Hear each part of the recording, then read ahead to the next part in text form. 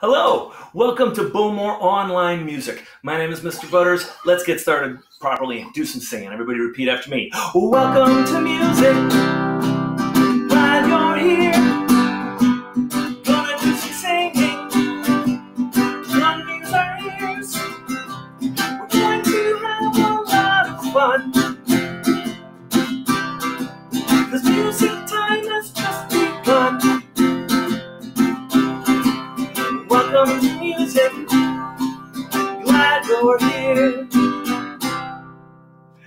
Great job. I hope everybody was singing along with me and my guitar Coco. Everybody say hi, Coco. And let's get on with music. If you got this video by a link, uh, and you wanted to see some of the other YouTube videos that I've made for this online virtual learning environment that we find ourselves in, all you have to do is go to YouTube and you put in uh, Mr. Butters Music with no spaces in the search engine. And then uh, when you when you click on that, it'll you'll see a picture that looks pretty much like that, and then uh, that'll take you to my YouTube page. And it's a non-monetized YouTube page, no money uh, involved there. It's just for my students. And uh, uh, click on playlists, and Bowmore Online Music will give you all the videos that I've been doing. And uh, so far, we've spent a little bit of time working on "Across the Universe" by the Beatles. Today, I have another Beatles song for you, but instead of singing or playing it, we're going to read it. This is a book by uh, Mark Rosenthal, who did the pictures. Of course, the music is by Lennon McCartney, the Beatles. Um, well, they're not the only Beatles, but they're the you know Lennon McCartney, uh, um, uh, Ringo Starr, and George Harrison. Um, but this particular one was written by uh, John Lennon. So the trick here for me is to be able to coordinate exactly when to start the music. So you'll have to forgive me. Um, while I'm trying to uh, to get that going, I'm going to tell you that this is a lesson for everybody. It's not just for younger kids. It's not just for older older kids. Of course, you know you can enjoy listening to the music. Uh, but you can also uh, wait until the end, and there is um, a music lesson that goes along with it. But let's start with the book and the music. Hopefully, I'll be able to coordinate this just right. The trick is to start the video but not switch the page. Let's see if it'll let me do that.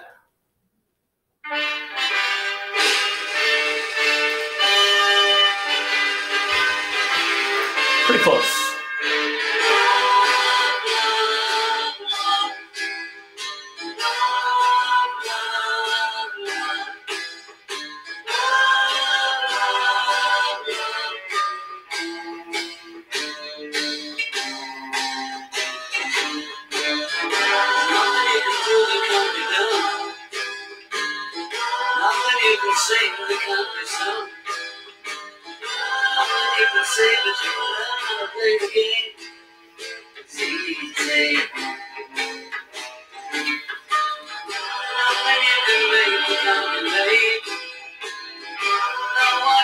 One you can say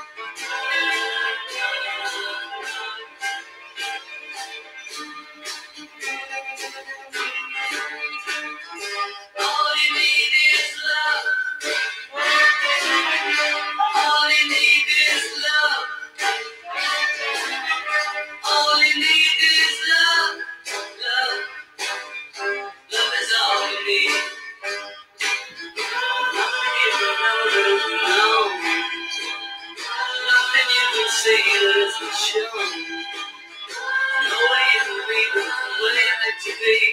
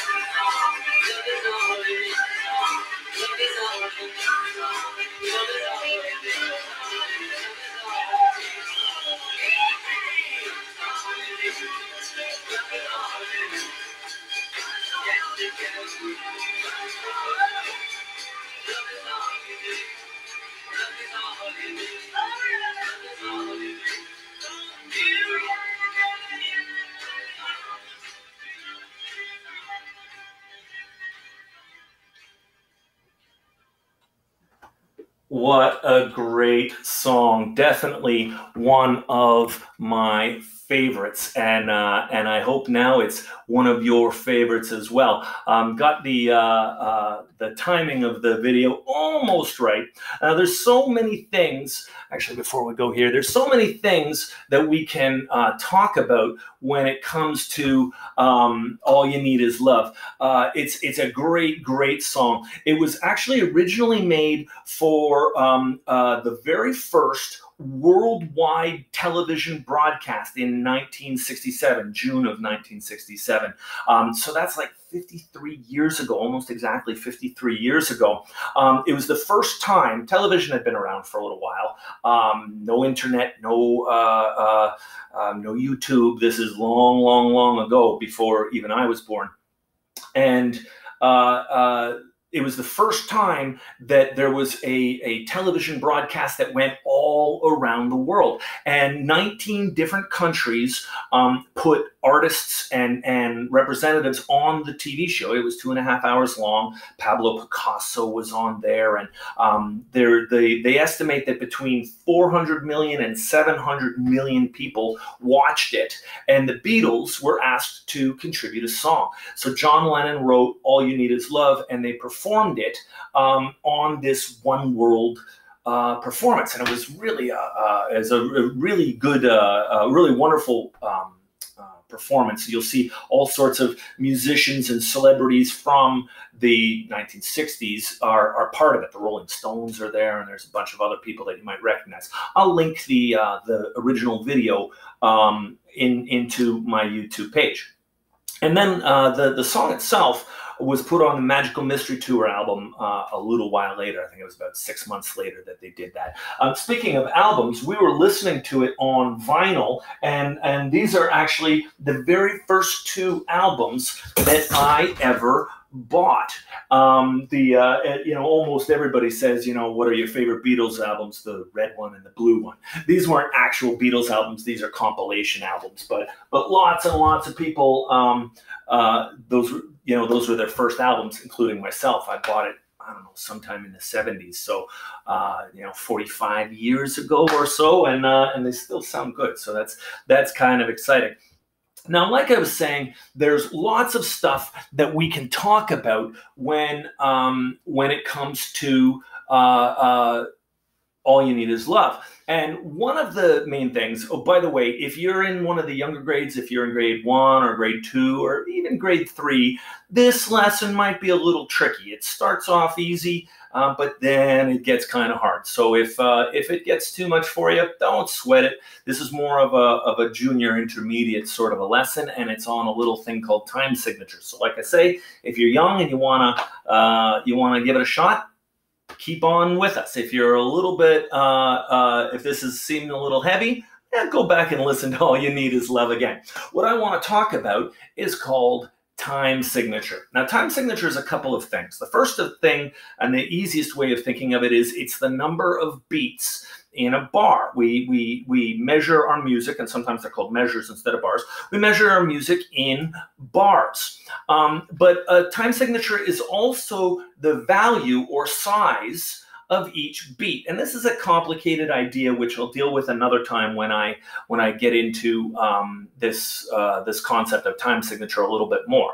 But the most important thing about time signature is that it sets up the swing of the piece. And I don't mean swing like the jazz um, and blues figure um, that I've taught some of you how to do. I mean just the way that the music swings um, not a particular rhythm, but the, the feel of the whole piece. So these numbers right here, that's our time signature.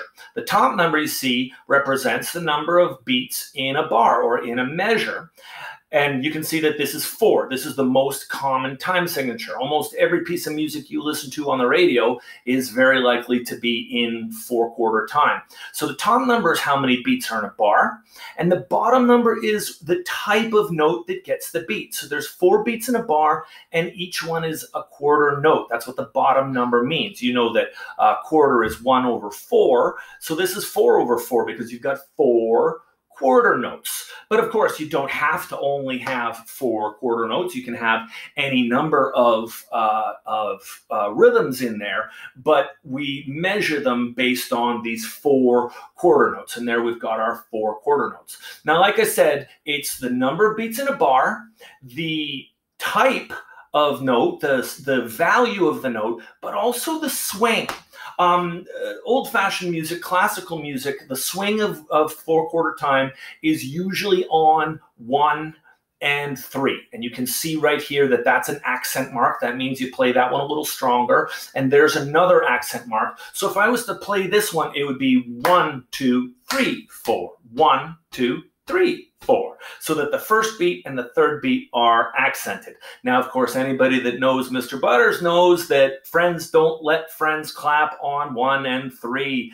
Most modern music has the emphasis on two and four. You can see that the accent is right here and right there. So instead of one, two, three, four, we've got one, two, three, four one, two, three, four. And that's going to be most of the music that we listen to. And the next time you're listening to, I don't know, Shawn Mendes or or Cardi B or whoever it is you're listening to, listen for that what we call that backbeat feel, that two and four emphasis. Now, here's another time signature, which used to be used a lot more often than it is now, but this is called three quarter time.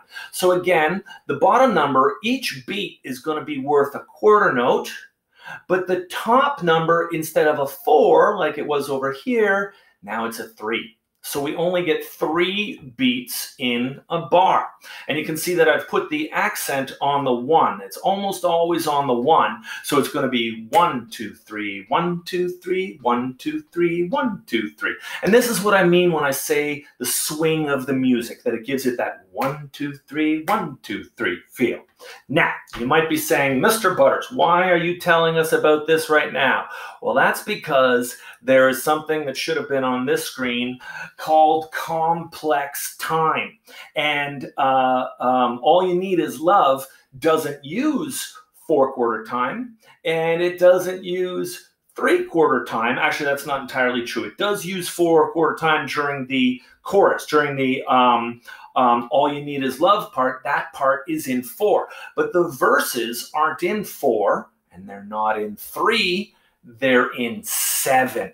They're in seven quarter time. So you can see that here's uh, a half note. So that'd be one and two because the emphasis, you know, in classical music, anyways, would be on beat one. I don't think it really is here in, in this song, but nevertheless, there's one and two, and then three and four. There's our four beat time one, two, three, four. But then we have a three beat time attached to it one, two, three. So it goes one, two, three, four, one, two, three, or one, two, one, two, one, two, three, depending upon where you're putting your accents. So it's essentially a four quarter time bar combined with a three quarter time bar. So if you are going through this song and you are wondering, how come I keep missing that bar, the, the beginning of the next phrase?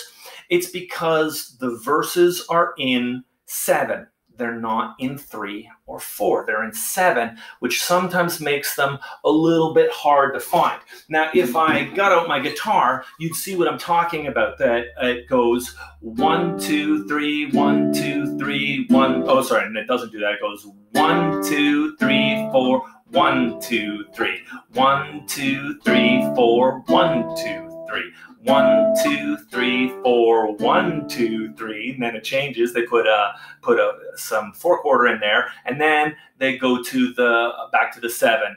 One, two, three, four, one, two, three, four, and it's much easier to uh, hear uh, than it is to uh, talk about. So it goes, there's nothing you can do that can't be done. Nothing you can sing that can't be sung. So you got a one, two, three, four, a one, two, three, a one, two, three, four, a one, two, three. And then um, the chorus, as I said, switches back to four. All you need is love. All you need is love.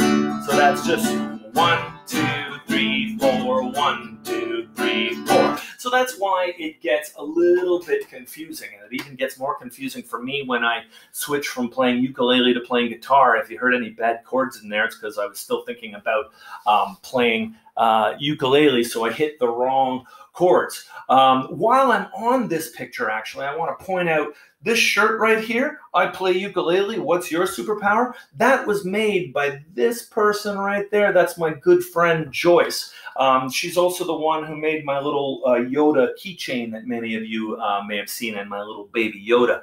Um, but yeah, uh, I play ukulele. What's your superpower? That was by uh, by my good friend Joyce. Um, and these people are all my friends from uh, the ukulele jam. So, like I was saying, seven quarter time. One, two, three, four, one, two, three. One, two, three, four, one, two, three. And then just to make it really difficult, they switch to uh, four quarter time for the chorus. So I'm guessing that this might be how some of you are feeling right now, and that's okay. Don't worry. Uh, complex time is called complex time for a reason because it's complex. It is a little bit uh, a little bit hard to to understand at first, but we'll work on time signatures some more later. I hope you guys are still with me, and I hope you really enjoy. All you need is love. There's only one more song uh, that I'd like to sing. Once again, everybody sit up nice and straight. Goodbye, no wrong note. Goodbye, goodbye, goodbye to you. Goodbye, goodbye, goodbye to you. I hope you had fun and music today. I'll see you again. I wish you could say goodbye, goodbye, goodbye to you. I'll see you again next time. Never fails, hit a bad note right at the end of the video. And if you think I'm going to go back and record that whole thing again, you're crazy. I'm going to leave that note in because everybody makes a mistake. I hope you guys are staying healthy and staying happy and getting some exercise. Make sure you get out and uh, go for a walk once in a while, but keep that two meter distance, at least two meters, and wash your hands lots. And I hope uh, I hope to see you again here on Bowmore Music Online. My name is Mr. Butters, and I'll see you next time.